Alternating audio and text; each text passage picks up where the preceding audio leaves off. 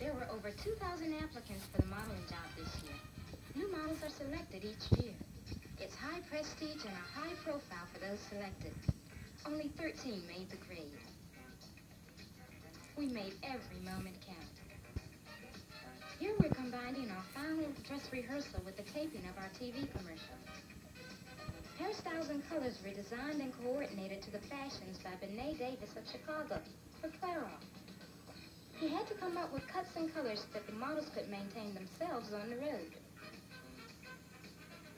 Uh, when I was asked to do the hair, I had to think about what I had to do to those girls.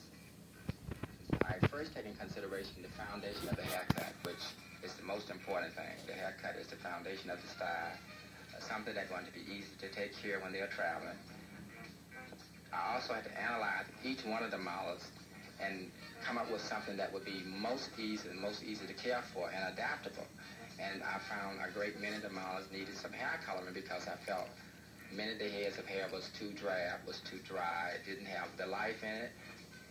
The most important thing when a black lady select hair color, she should take in consideration the skin tone, personality, and the color of the eyes. And this is the way I see it because I'm the designer and I understand what's best for her. We were born beautiful, but look at us now. You can forget other commitments when you're on tour with the Ebony Fashion Fair.